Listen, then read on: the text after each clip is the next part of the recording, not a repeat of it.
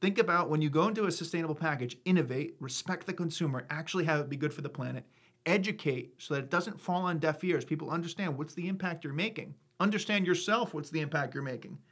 When I started this, frankly, I didn't realize all the impact that hemp had, and this is why we want to share it through this through this uh, channel. And then hopefully you get the appreciation and the loyalty from the consumer, and that's how it becomes ROI positive. Maybe you're spending a little more on it, but you double the number of units you're selling. Um, let's get into the trap blister cards, um, the ones that could be used for vape cartridges. We're working on making this one CR. We've also got that question do you have CR hemp packaging? So we're working on making this one CR. We um, it was tearing a little bit too easily, so we're working this through. But this one can be a CR package, but right now it could be used for any product, any industry, but it's not CR yet. But show this one off. This is our uh, trap blister card for a cartridge. Absolutely, and it actually incorporates two of our most sustainable materials. Yes. The card is made from the 100% hemp, while the blister is actually made from ocean-bound plastic.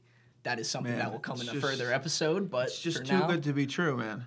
it's awesome. It's a great product. Uh, we actually showed these off first at MJ BizCon in Las Vegas, um, Mm-hmm. and we've seen a lot, a lot of interest around this product. So it's, it's great to see. We have more. Email us wow at contempopackaging.com. Know that the first CR 100, 100% hemp package is in development, coming soon. And if you have a product, you're like, hey, I want to make this out of hemp, we'll try to make it happen if it's something that we haven't done to date. Pocketable, affordable, minimalist, versatile. Room for branding and compliance. No wonder everyone loves the locking card.